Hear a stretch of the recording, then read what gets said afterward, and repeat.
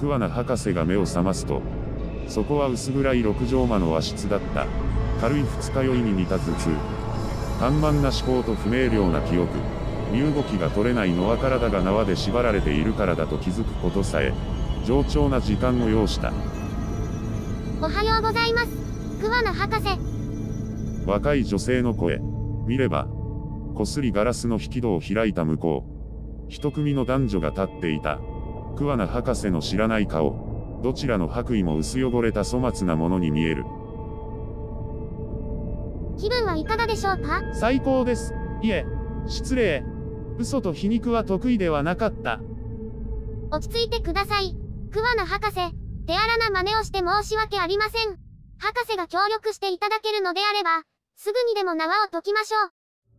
その言葉を聞いた桑名博士は、自身が望まぬ状態に置かれていることにようやく気づいた。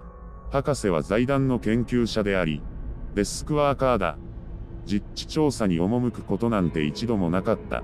それが様々な経緯があって、まだ収容されていない異常なオブジェクトの調査班に加わることになった。結果がこれだ。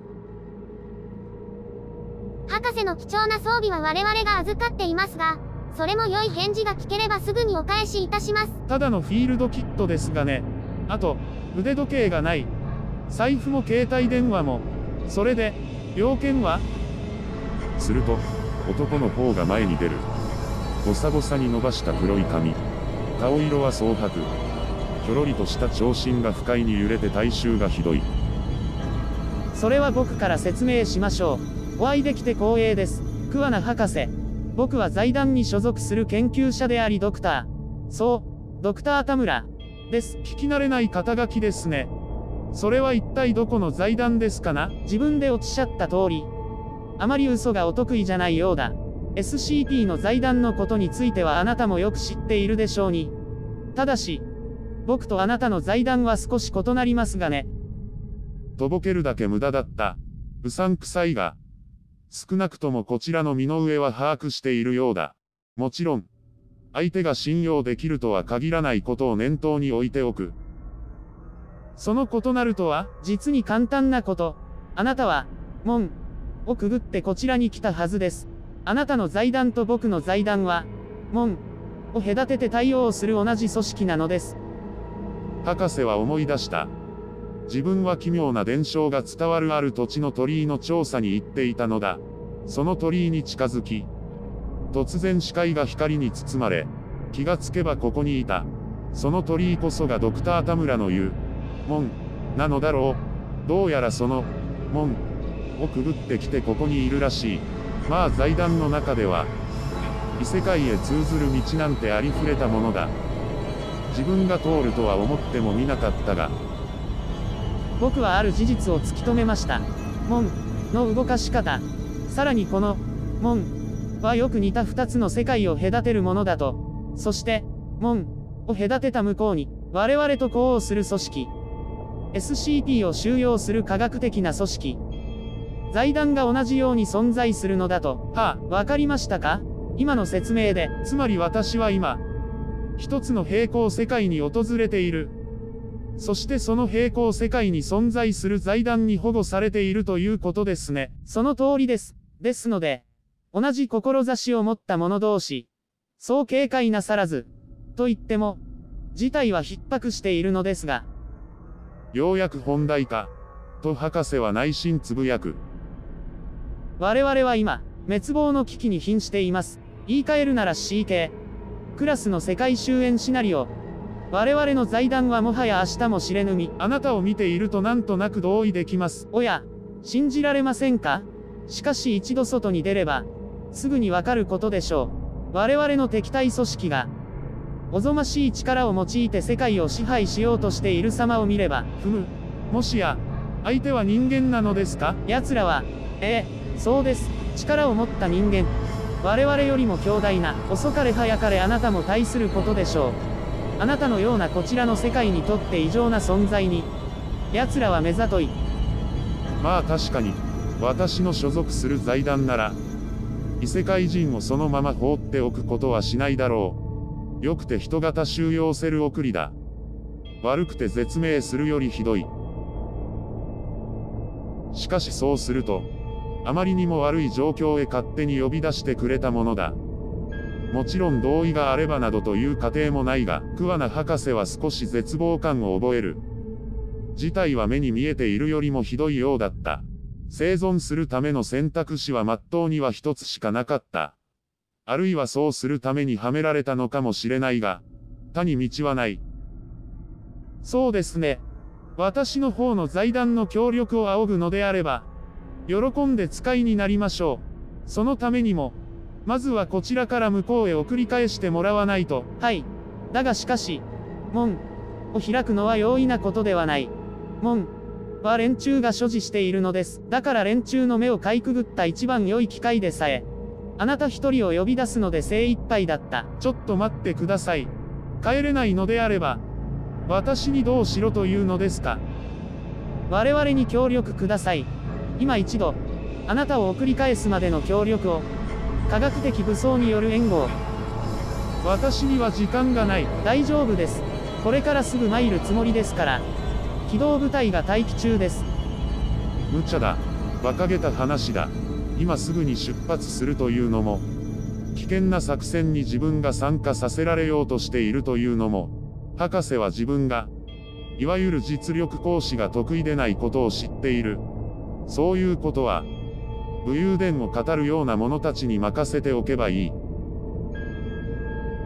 私は非力な人間です。だがあなたは SCP を扱う知識を持っている。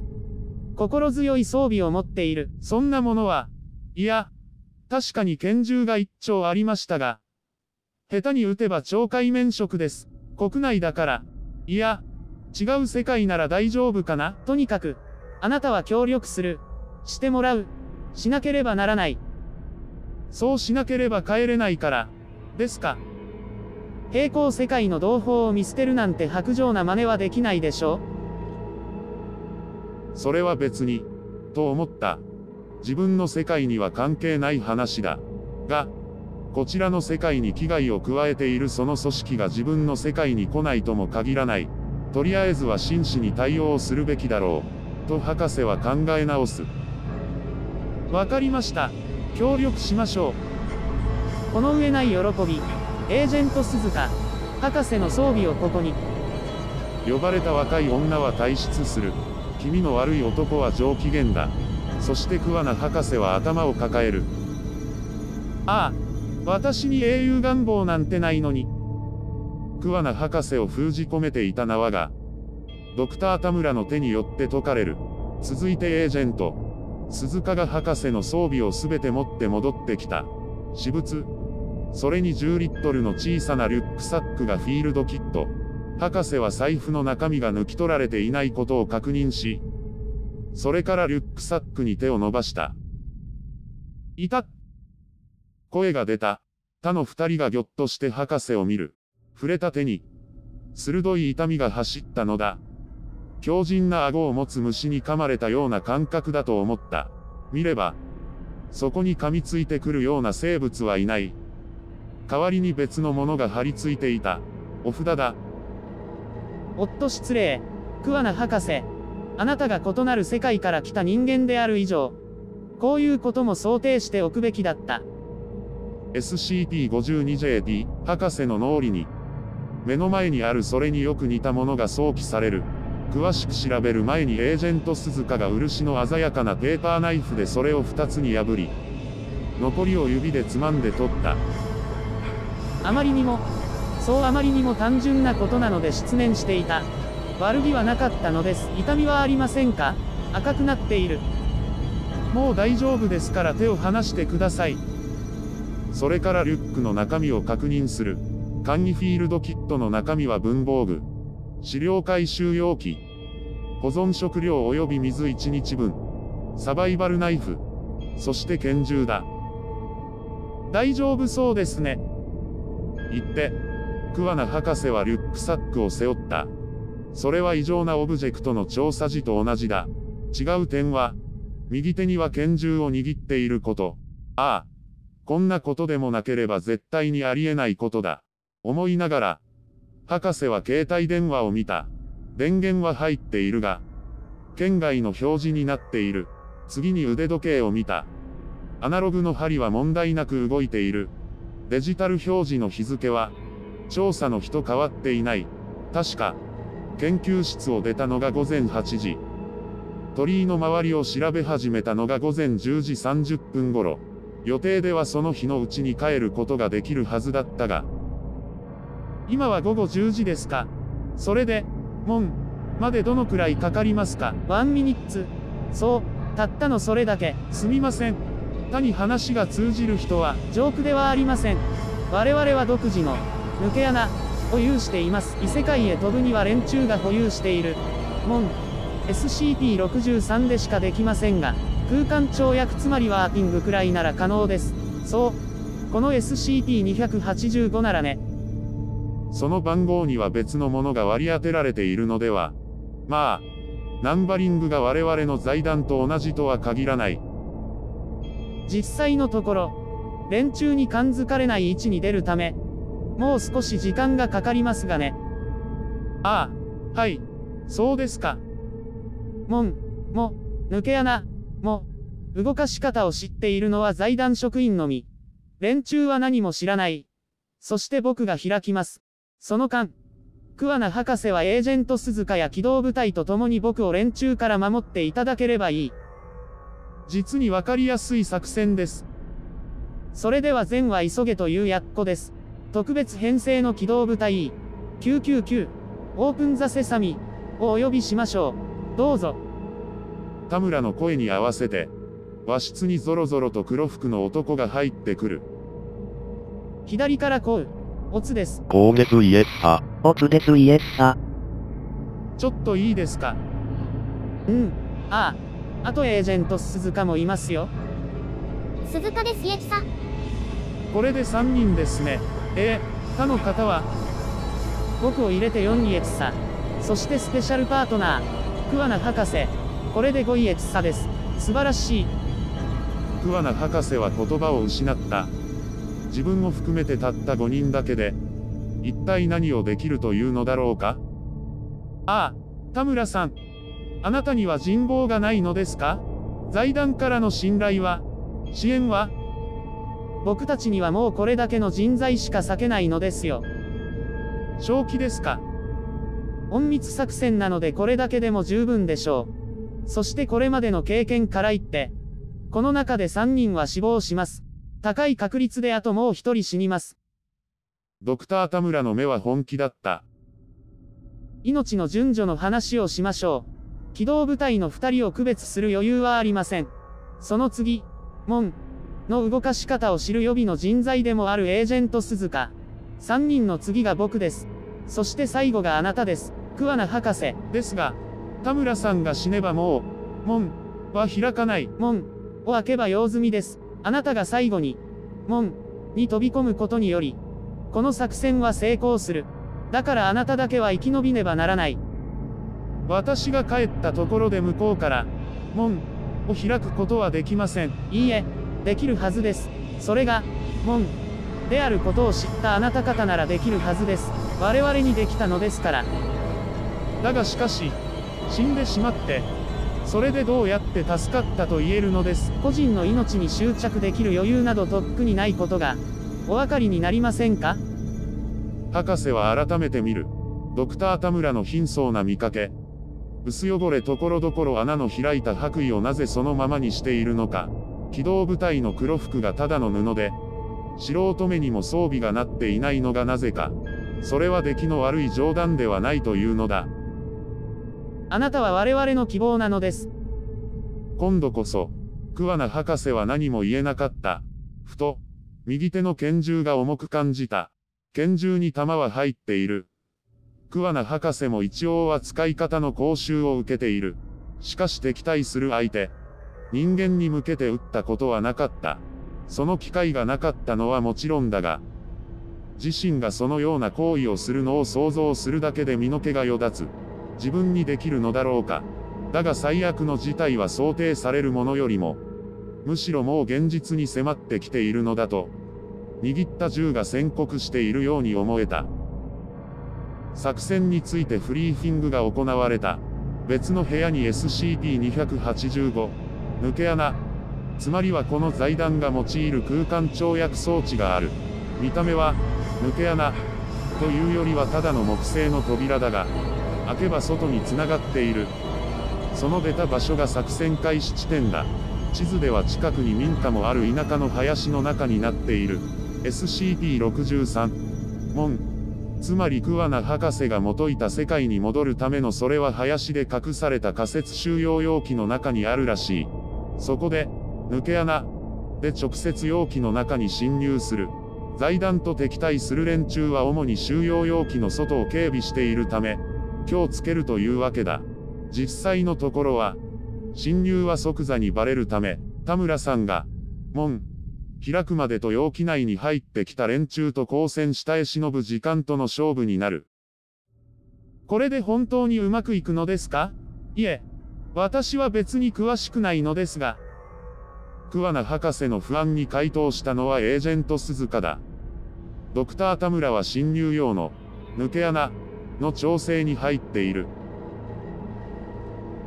これまでは外に別動隊がおり、侵入方法をごまかすことができていました。戦闘の混乱中に何らかの方法で収容容器に接近し入り込んだのだと。しかし、今回はそのような余裕はありません。とにかくもうなりふり構ってられないということですか。そうとも言えますね。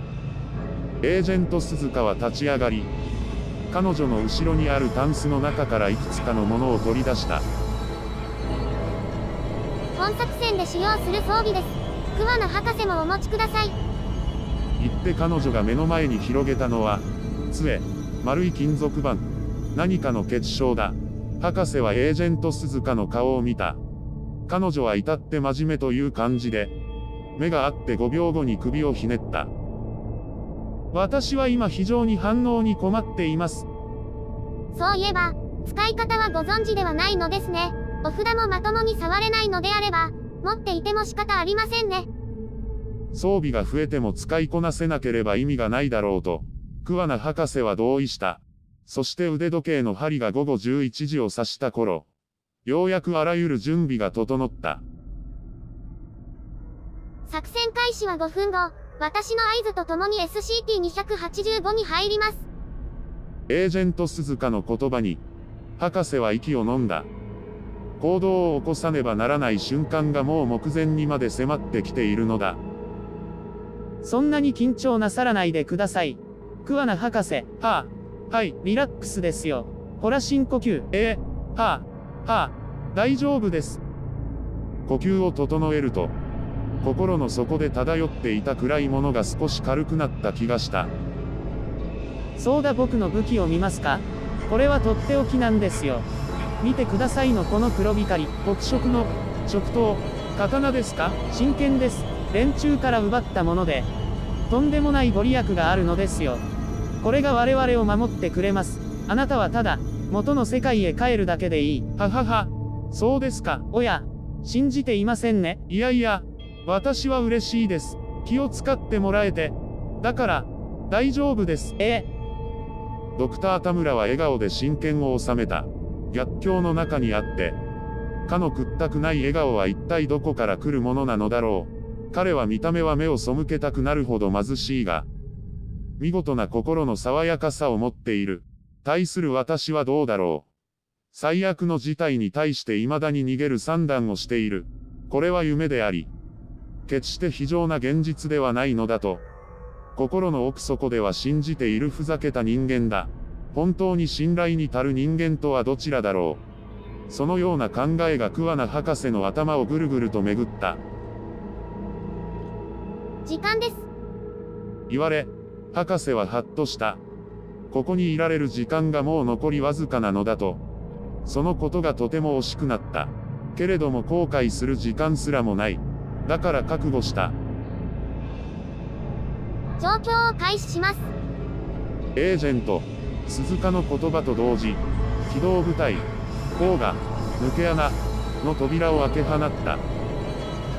扉の先はほとんど暗闇だった。数春後、甲、エージェント、鈴鹿、桑名博士、ドクター田村、オツの順番で、抜け穴、を通り抜ける。そこからわずかに入り込む光が唯一の光源だったが、それすらも扉を閉めることによって失われた。ここから10歩直進すれば目標です。作戦で打ち合わせたことだ。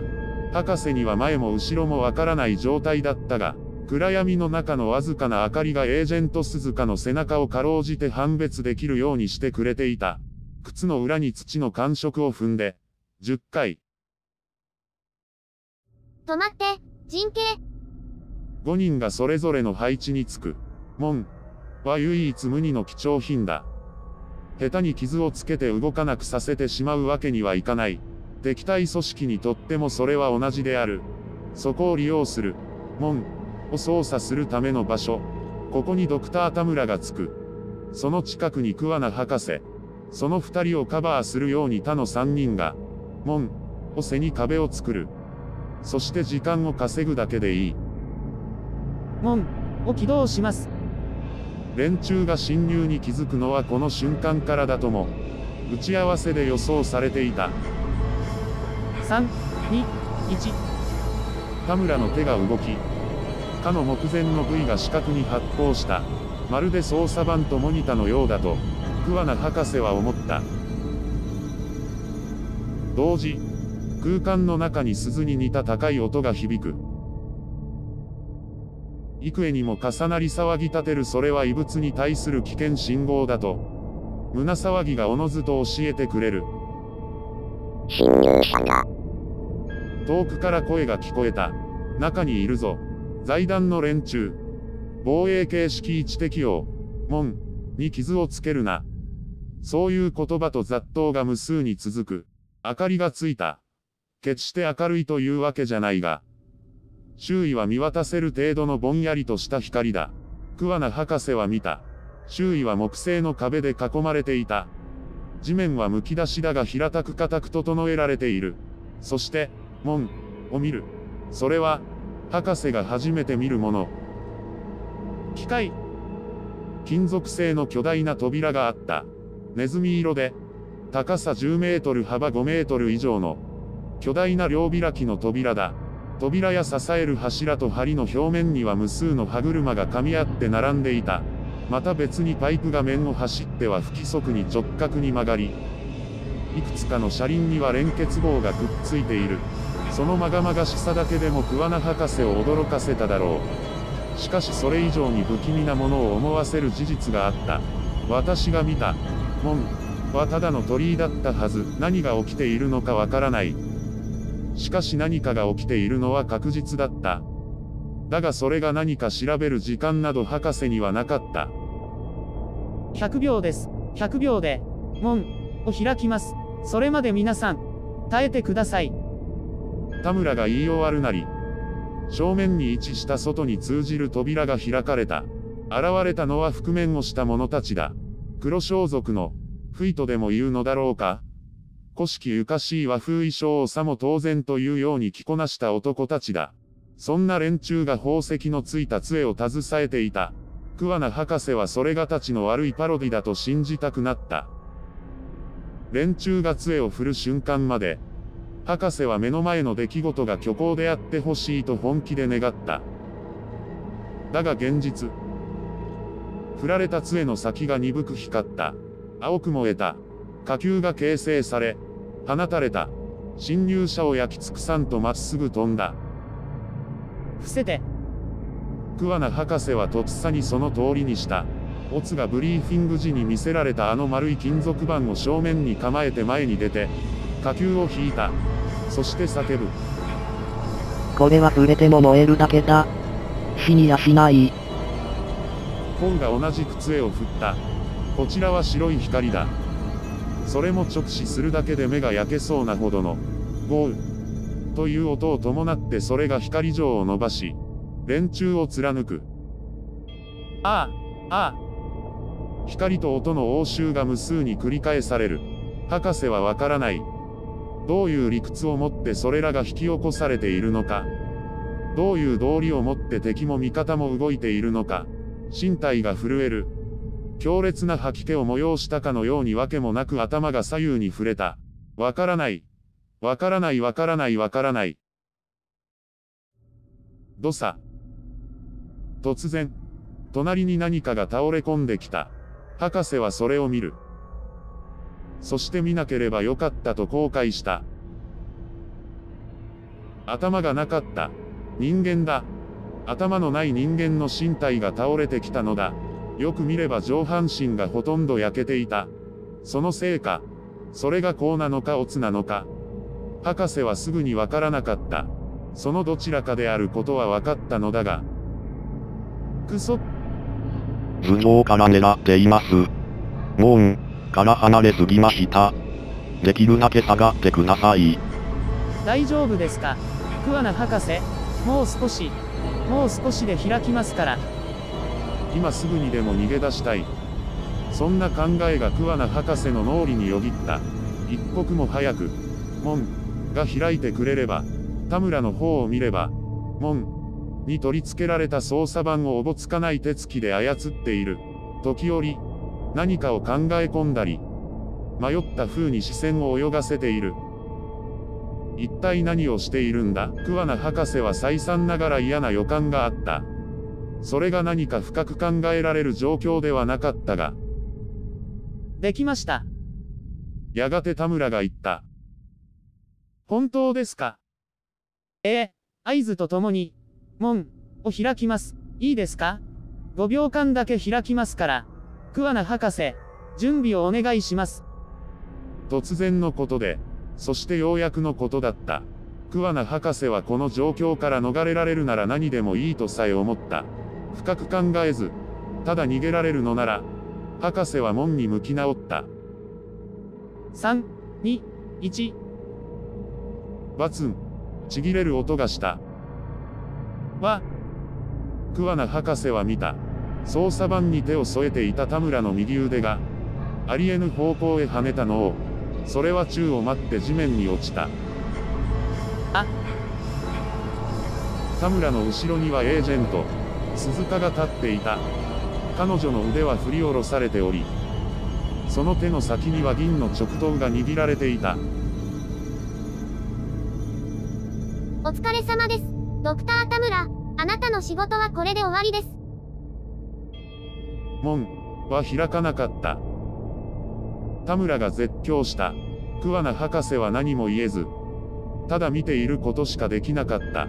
攻撃が病んでいた。だから、田村の叫び声だけが室内にこだました。貴様、動いたのは機動部隊員の甲だった。その手に握った杖を振ろうとした。鈴鹿の背にいた彼ならそれはすぐに成し遂げられるように思えた。しかしそれよりも早く鈴鹿が振り返り、杖を持つかの腕を切り飛ばした。返す刃で銅を毛さ切りにした。彼が絶命したのは火を見るよりも明らかだった。これで生き残りは全て片付きました。あとは桑名博士、あなたにご同行願いたい。ボロの白衣を脱ぎ捨てながら彼女は言う。桑名博士は、今度こそ、何が起こったのか分かった。裏切ったのですか？あなたは？すると、鋭い目が博士を見た。私は元より密偵です。門の使い方さえ分かれば、連中にこれ以上取り入る必要がなかっただけのこと。何を言って？ですが桑名博士は違いますよ。彼らのような、なりきり、ではなく、本物の科学を知っている、さらに本物の財団に属している。決して悪くない待遇を約束しましょう。あなたは人を殺したのですよそれがどうしたというのですか？鈴鹿が、ふ、と微笑みながら息を吐いた。は人を傷つけることが苦手なんですね。安心してください。今すぐにでも武器を捨てて投降していただければ御身の安全を保証しましょう。その言葉に博士の感情が高ぶった。周りに倒れ込む。財団のために戦った三人の男たち。それを冷ややかな目線で見下ろす冷徹な一人の女の態度に、腹の底から込み上げてくるものがあった。身体に力が入る。そして博士は自身が右手にずっと握りしめていたものをようやく知る。動くな博士は銃を突き出した。鈴鹿が、周りの者たちが、動きを止めた。それを確認し、博士は言葉を続けた。不用意に動かないことあんたらの剣よりも杖よりも、こいつのがずっと速い。それで、あなたに何ができるというのですか？あんたらこそ、そのガラクタで何ができる？私はついさっきまではあんたらの武器に無知だった。しかし私は見ていたんだ。知ってしまえば対処できる。連中は動けない。けれどもその意識がどこに向いているか、博士には感じられた。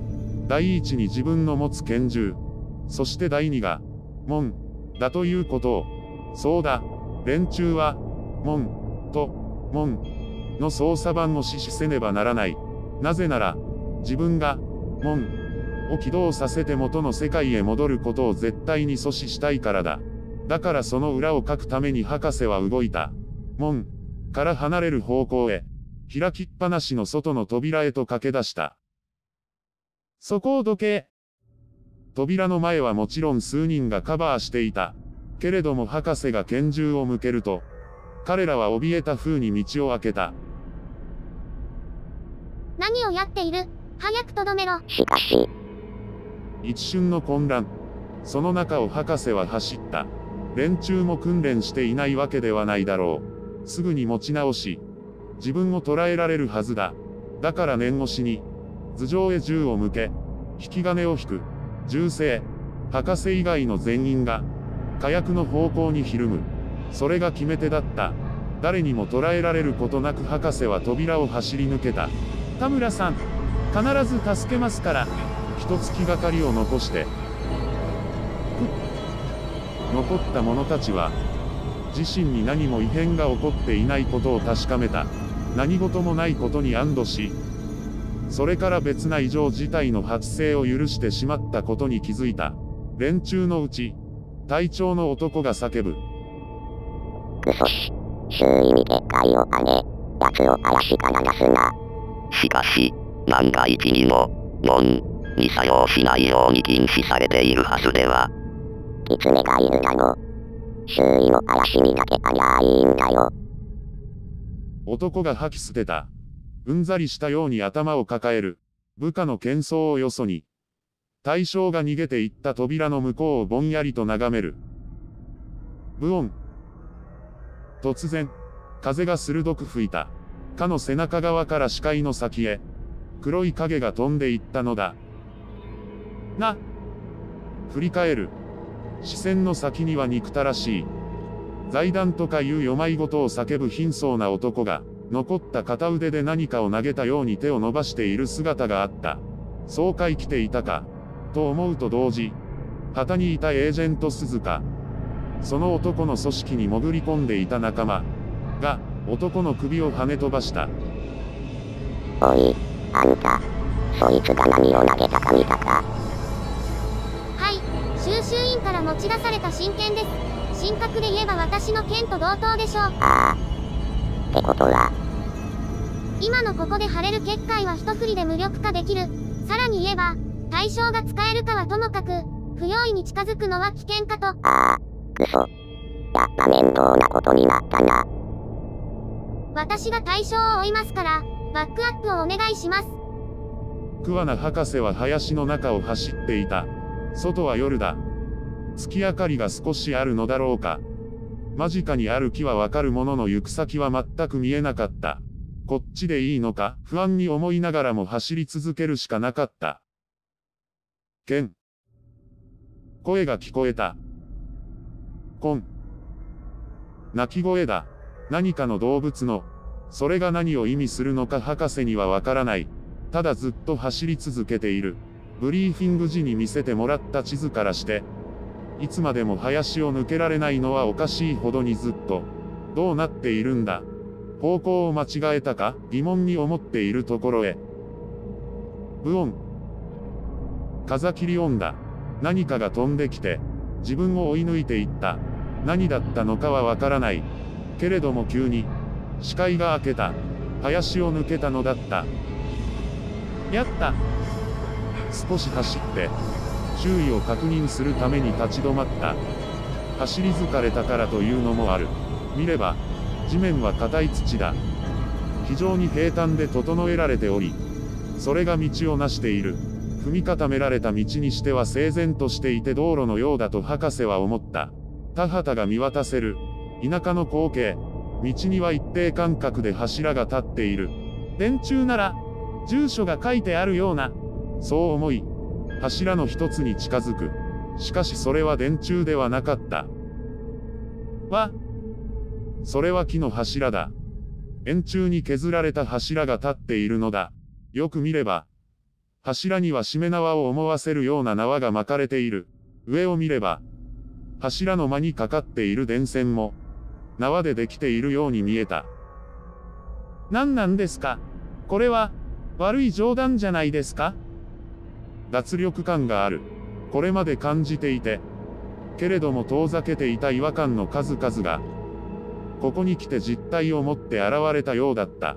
いや、違和感の正体こそ、この異世界にとって自分が異質であることに他ならないと悟ったのだ。クソ。なんだって言うんですか？何なんですか？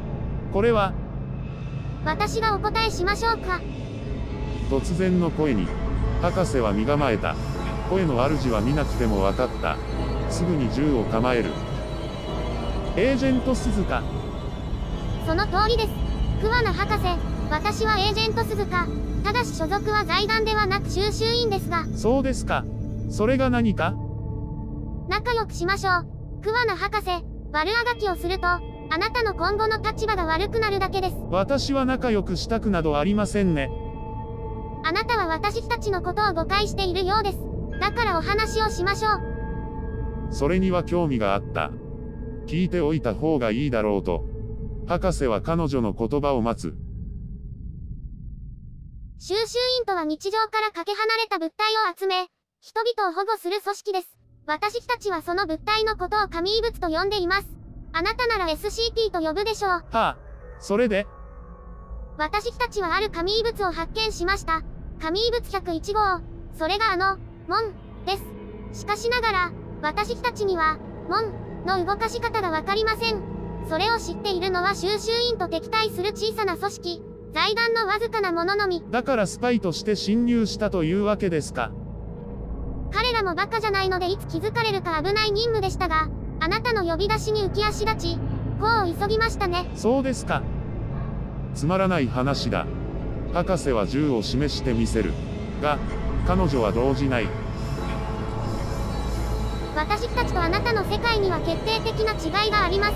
そのことに気がついていますか？こちらの財団は非力ですね。いいえ、もっと根本的なことですよ。私たちとあなたの世界は観念が異なるのです。だからこそ収集員が世界的な組織であり、あなたの世界と違って財団が小さな組織なのだと推測します。何が言いたいのですか？もっとはっきり言ってください。科学なんて眉唾なものを信じている人間なんて、この世界にはほとんどいませんよ。なんだって？世界が科学で説明つけられるなんて何に感化されたのやら。私たちの日常生活は神の息吹がなければ成り立たないというのに、あなたこそどうかしてるんじゃないですか？あなたの身の回りには科学がなければ成り立たないものがたくさんあるはずですよ。例えば、衣服は神の技によって生産されています。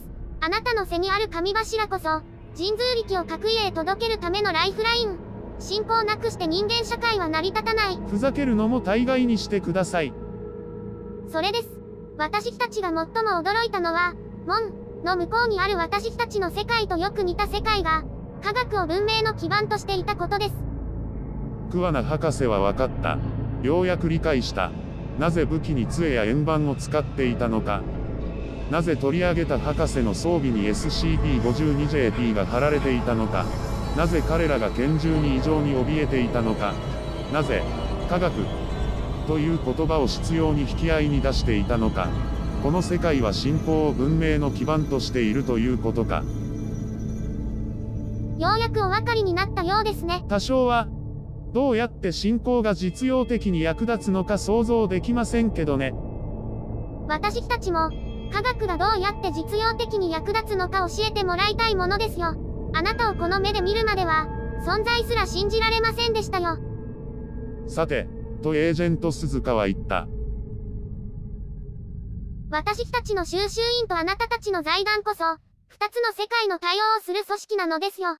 そしてお互いの知識を交換することで、神異物や SCP への理解が深まるというもの。ですから、私たちは桑名博士にお願いしたいのです。ぜひとも協力を。そういうことなら、絶対に嫌ですね。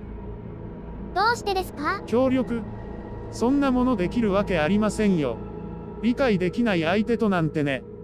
できることなら相手を侵略したいはずだ。そんなことは、いいえ、そうなりますよ。そこで重要になるのが、門、だ。しかしこちらは、門、の動かし方どころか、この信仰世界の存在すら知りません。この不利な状況は、全く好ましくないものだ。少なくとも協力すべきではありませんよ。なるほど、あなたはアホですね。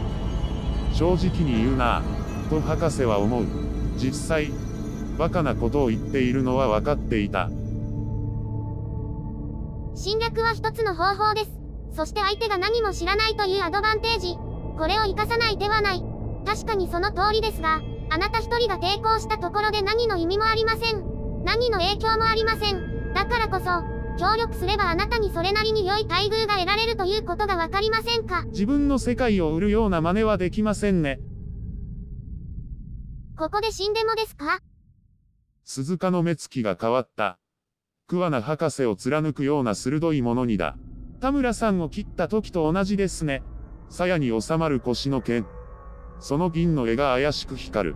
彼女は躊躇しない人間だ。エージェントとは言うものの、実態はただの殺し屋なんじゃないかと思う。しかし、あなたにできますかな？この拳銃の方が剣よりずっと速いと言いましたが、同じく、あなたにできますかね？人を傷つけることにまだためらいがあるあなたが、それに、一息。私の剣の方があなたの拳銃などよりもずっと速いです。まさか、私はついさっきまではあなたの武器に無知でした。しかし私は見ていました。知ってしまえば対処できる。そうではなくて、クソ、ふざけやがって。博士は銃を彼女に狙い定める。引き金に指をかける。撃てば、彼女はおおよそ死ぬ。できるのか自分に、誰かを傷つけることが。問い。しかし思うのは、田村のことだ。彼はなぜ死なねばならなかったのだろうかのような忠実なる科学の友柄が、このようなふざけた世界に生まれたばかりに、志半ばで生き絶えた。その事実がどうしても悔しかった。撃つしかない。彼女は剣の達人だろうか。銃弾くらい避けられるとでも思っているのだろうかいや、そんなことは無理だ。こちらが撃つよりも早く攻撃を仕掛ける方がよっぽど現実的だろう。ならそれよりも早く撃つだけだ。ためらっている時間が自分を不利にするだろう。くっ。彼女が腰の剣に手をかけた。今しかない。撃つ。銃声が吠えた。その決定的な瞬間が、桑名博士にはスローモーに見えた。その時鈴鹿は、ああ、一体どうしてそのようなことができたのだろう。彼女はその一瞬の間にある言葉を唱えた。なぜかその言葉は桑名博士に聞き取ることができた。サラタラマキリクソワクワ。そして鈴鹿は抜刀する勢いそのままに、剣を博士に向かって投げ飛ばしたのだ。それが何らかの力が加わって回転。その間にあろうことかその刀身が銃弾を弾き飛ばした。回転運動は半周したところで止まり、博士を刺そうという形になる。博士には、その剣がまるで何か猛禽類に見えた。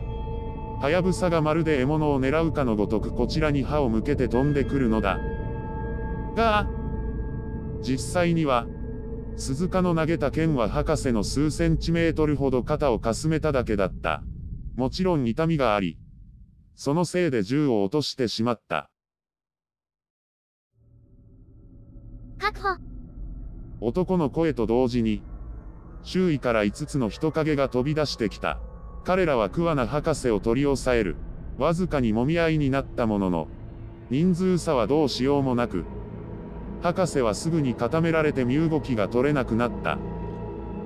痛い痛い。暴れねえよくそ。この、そこそこにしておいてあげてくださいね。博士は貴重な人員です。あ、そこの銃とかいうものも回収してください。使い方は教えていただけますよね。誰がお前らなんかに手を貸すものか。結構なことです。拷問はお得意ですか？もちろん受ける方ですが。すぐに桑名博士は縄で縛り上げられた。男たちによって運ばれ、車に投げ込まれた。車といっても一般的な自動車ではなく、馬のない馬車のようなものだ。それこそ馬がないので動力が何なのかわからなかったが、それはちゃんと動いた。ああ、絶対どこか打撲しましたよ。あざになってませんか？協力していただけるのならその無駄口に付き合いますけど。鈴鹿が同情している。他は男がもう一人。運転手と思われる男が前に一人だ。今いつかわかりますか？あと少しで日付が変わるところですよ。そんなことを気にしてどうするんですか？わは、それはよかった。わわわ。桑名博士は笑った。笑い始めると止まらず。笑いはどんどん大げさなものになる。うるせえよ。男に蹴られ、博士は咳込む。収まったところで、言う。私は諦めません。最後には絶対勝ってみせます。何を今更言っているんですか？信仰が文明を支える。何をよまいごとを。科学こそが世界の断りであることは、たとえ世界をまたいでも変わることはありません。咳込む。まさか私が何の策もなしにこんなところまでのこのこやってきたと思っているのですか？桑名博士はある実験を兼ねて、実地調査に赴き、門を通ることになった。実験対象は SCP-10JT だ。一種の計算機だが、その特殊性は未来の情報を入力に取ることだ。そしてそれを実現するために、未来の情報と矛盾する未来にたどり着いた時は正しくなるまでその経過をやり直す、という現象が発生する。望む未来が得られるまでループする。その性質を生かして、ある人間が生還するまで冒険を繰り返すことができるのでは。その実験を桑名博士は身をもって行っていた。時刻は午前0時。それまでに私が戻らなければ、この現実はなかったことになり、世界は今日をやり直す。当事者である私だけがその経験を引き継いでね。それが SCP-10JT だ。ああ、いかにもインチキだ。と博士は思う。しかしそれが現実なのだ。今回は負けました。しかしここでリセットされる。私は何度だってやり直しましょう。だからあなたたちが勝利の結末を得ることはない。最後に勝つのは私たち財団。純然たる科学ですよ。桑名博士は叫んだ。同情する人間たちは、何を言っているのかわからない風だった。しかしそれもどうでもいいことだろう。桑名博士の腕時計の針が午前0時を指したのだから。桑名博士は SCP-10JT の実験室にいた。腕時計を見れば、午前7時。出張のために早い時間に、仕込み、を行っていたのだ。そもそも何かが起こるかどうかなんてわからないじゃないか。1、度くらいは帰らずにほっつき歩いてみたらどうかね。今回の実験の監督官である白子博士が言った。彼は早い時間に付き合わされることにうんざりしているようだった。何もかも最初の通りですね。桑名博士は笑みを抑えられなかった。そうだ。思惑通りにリセットされたのだ。しかも今度はエージェント鈴鹿が裏切ることを知っている。対処のしようがあるというものだ。嫌に気持ち悪い顔をしているな、桑名博士。いや、何でもありませんよ。ここまでのことを話すのは、ためらわれた。それよりも結果を持ってきたいという気持ちでいっぱいだった。桑名博士は極力平静を装う。この時点で SCP-10JT のセットアップは済んでいる。あとはそれを金庫に入れるのみだ。会場の方法は桑名博士のみが知っている。そして、SCP-10JT を正常終了させない限りループは繰り返される。そのようにして桑名博士が生還するまでのループが成立するのだ。博士は SCP-10JT を持ち上げた。すると、あ手が滑って、落としてしまった。何をしているんだ？すみません。おい、それ、明かりがついてないぞ。はい。SCP-10JT は起動していることがわかるように、点灯するようにしていた。それが消滅しているというのだ。しかし、博士が見れば、きちんと点灯していた。なんだ。驚かさないでくださいよ。いや、確かに消えていたはずなんだがな。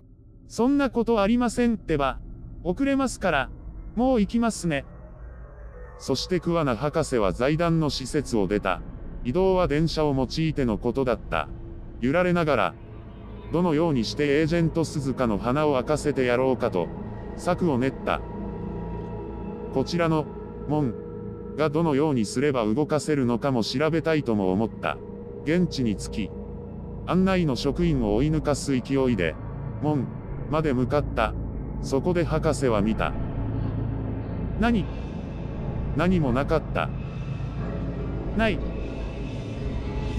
どういうことですか？つぶやく。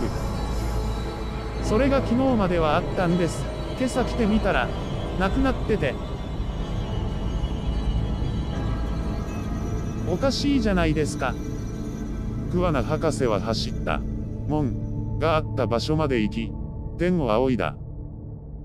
どうしてですか？私は向こうに行かなくちゃいけない。あの女の裏切りを暴き、田村さんを助け出さねばならない。博士、田村さん、私を呼んでください。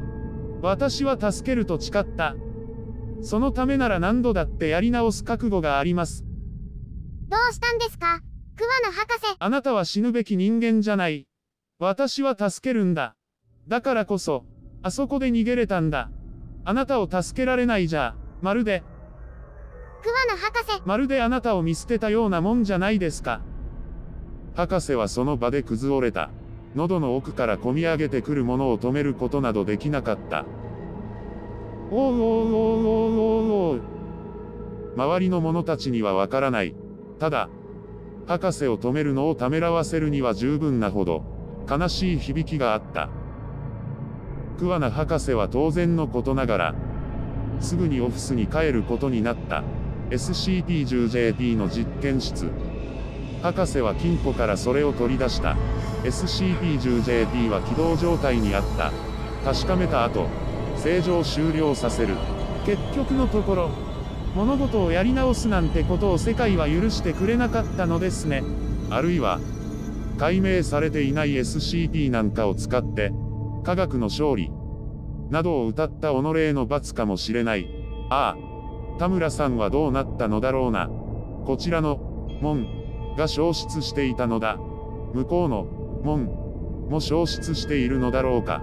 向こうのよくわからない連中がこっちの世界に来ることはあるのだろうか。とにかく報告書を書かないといけない。